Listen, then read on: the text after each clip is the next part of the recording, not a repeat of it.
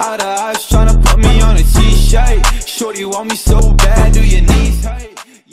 Hey guys, I'm going to be teaching you how to record your facecam and gameplay footage into separate files using OBS. Uh, make sure you watch throughout the whole video because uh, if you mess up, it's going to affect you in the long run, so make sure you watch the whole thing. Uh, I've seen some other people do tutorials on this, and basically what they do is they put the facecam footage and the gameplay footage like side by side, and they have to go in your video editor and crop them out and make two files yourself. That just seemed really annoying, so I found this method, and I was like, I couldn't find it anywhere on YouTube, so I thought I'd share it with you guys. The first thing you want to do is open up your OBS. So this is my webcam footage right here. So I'm going to go to File, settings, then go to your hotkeys and make sure you have a start recording and stop recording hotkey set up.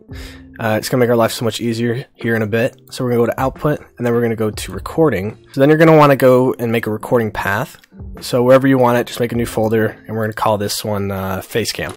So I'm gonna put that in there, apply and OK. And then uh, to record our gameplay, you can actually open another OBS, which I didn't know you could do. So uh, launch anyway. So we have two OBSs now. I'm gonna hit desktop. And make sure you have a, a decent computer to do this because it can be quite heavy on your computer to record two files at once. So uh, then we're gonna go to file on this new OBS and go to output, then recording, and then we're gonna make a new folder. We're gonna go back and call this one gameplay, or I'll just call it display, and then select folder, apply, and OK.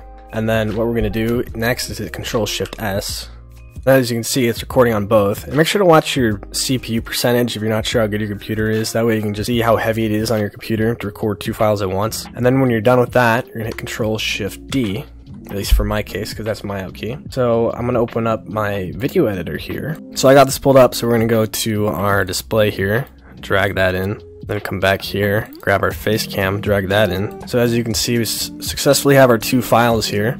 So I'm just gonna grab our footage here, drag this over here, and then we can crop this.